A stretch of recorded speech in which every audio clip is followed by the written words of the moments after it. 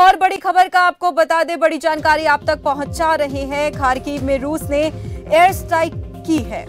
तो बड़ी खबर आप तक पहुँचा रहे हैं कि बमबारी के बाद इमारत में आग लग गई। रूसी सेना कर रही ताबड़तोड़ हमले।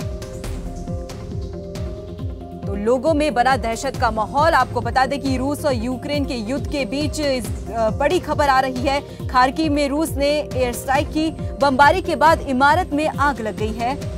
साथ ही आपको बता दें कि रूसी सेना कर रही ताबड़तोड़ हमले।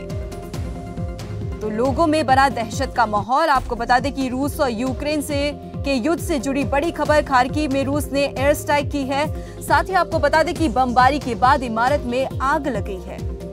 वहीं रूसी सेना कर रही ताबड़तोड़ हमले। तो आपको बता दें कि बीते कई दिनों से लगातार जो है रूस की ओर से यूक्रेन पर लगातार हमला किया जा रहा है। फ़िलहाल के लिए इस बुलेटिन में बस इतना ही। देखते रहिए खबर फास्ट। दीजिए मुझे इजाज़त। नमस्कार।